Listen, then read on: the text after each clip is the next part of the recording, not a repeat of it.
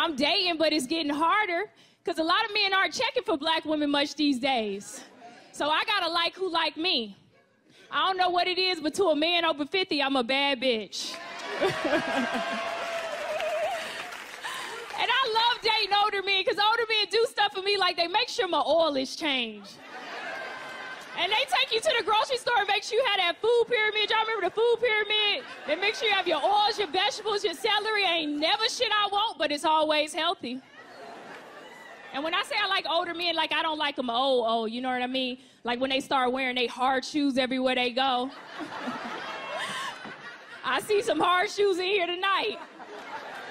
I took this older guy to the gym. I was like, Mr. Earl, you're not supposed to be on the treadmill with your hard shoes on. You gonna tear this shit up. You gonna tear it up.